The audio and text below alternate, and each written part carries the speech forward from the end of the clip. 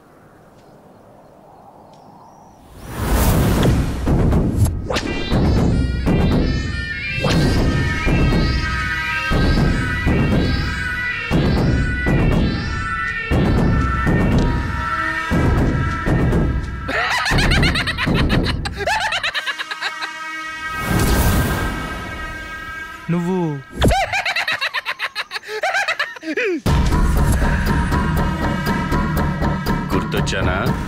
పిచ్చోనివే కదా. కాదు నీకు డబ్బులిచ్చి ఇల్లు కొనిచ్చిన వాణ్ణి? ఏంది? ఓ గుర్తుపట్టేశావా? సర్లే గాని ఆ చిప్పిలా ఇచ్చేయి. నీకెందుకు ఇవ్వాలి దానికోసమే కదా ఈగని చంపితే లక్ష అడుక్కుంటే ఐదు లక్షలు చీర కడితే ఏడు లక్షలు ఇచ్చింది. పావన్ ఎక్కడా చిప్పెక్కడా? పావన్ ఎక్కడా రేయ్! చిప్పిచ్చేయ్. లేకపోతే మా వాళ్ళ చేతుల్లో చచ్చిపోతావు. రేయ్! నేను ఈ లొకేషన్కి కొత్తేమో కానీ ఫైట్ కాదురా. అయినా ఫినాల్తో పైకాన్ గడుక్కునే ముఖము నీవు. నీతో ఫైట్ ఏంట్రా? రేయ్! ఈ కటారి పైనే సెటైర్లా? హే తప్పక. అంటే నీ గొంతులో గాలాగిపోతే గాని నీ చేతుల్లో చిప్పు నా చేతుల్లోకి రాదంటావు. రేయ్! ఏసేండి రవిని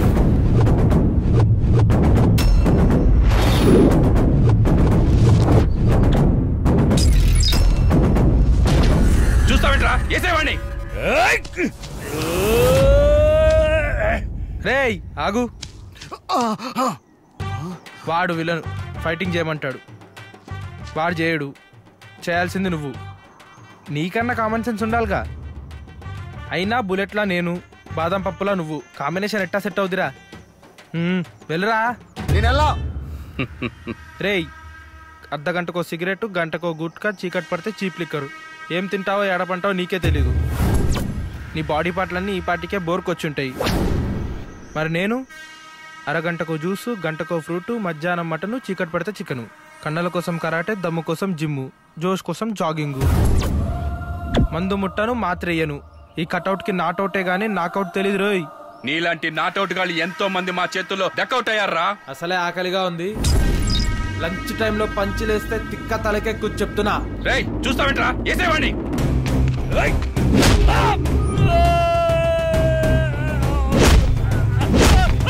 啊？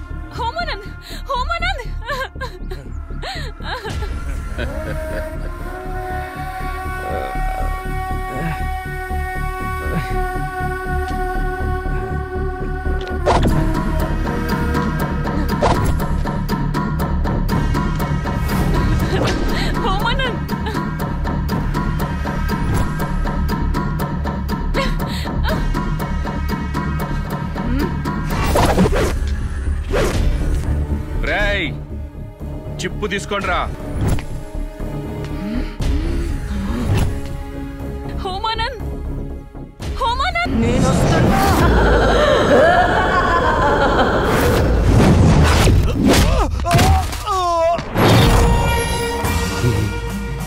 フフフフ。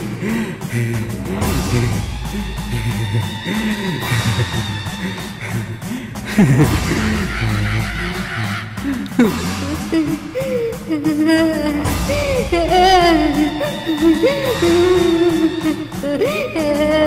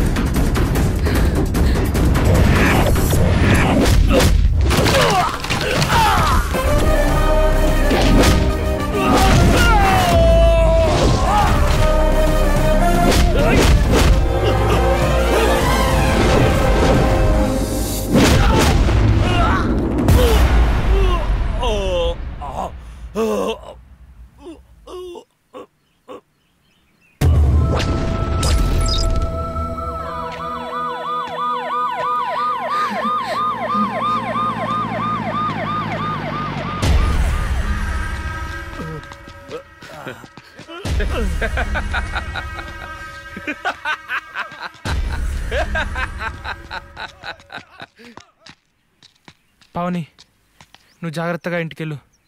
నేను ఆ ప్రొఫెసర్కి ఈ చిప్ ఇచ్చేసి వస్తా. హోమానంద్ నువ్వు జాగ్రత్త.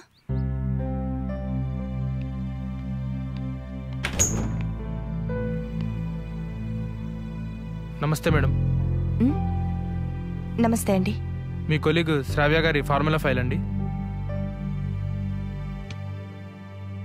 థ్యాంక్స్ అండి. చివరికి ఫైల్ చేరాల్సిన చోటుకే చేరింది. ఇది గవర్నమెంట్కి అందజేయండి. థ్యాంక్స్. అలాగే. హోమానంద్ నీకెలా థ్యాంక్స్ చెప్పాలో నాకు అర్థం కావడం లేదు. ఎక్కడున్నావు? కనిపించట్లేదు. ఎనీవే ఇక్కడ నేను అనుకున్న పని అయిపోయింది. నేను వెళ్తున్నాను.